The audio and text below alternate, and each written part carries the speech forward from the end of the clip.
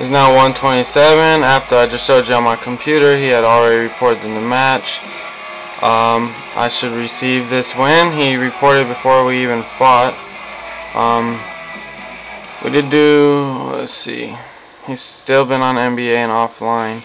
I don't know why he reported. I'll send him an invite. I'll see why he isn't coming on.